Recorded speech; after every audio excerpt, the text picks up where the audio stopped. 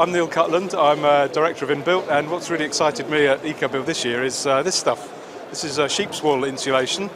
We've seen it before, but uh, this stuff's a bit different. This has got full uh, BBA accreditation certification, complies with all the fire regs. It's got Energy Saving Trust energy saving recommended status.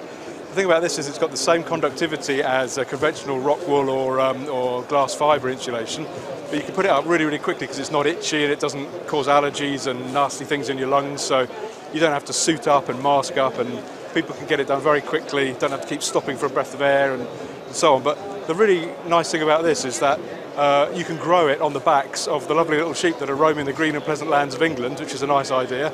And then uh, when they reach the end of their useful production life for insulation, you can eat them.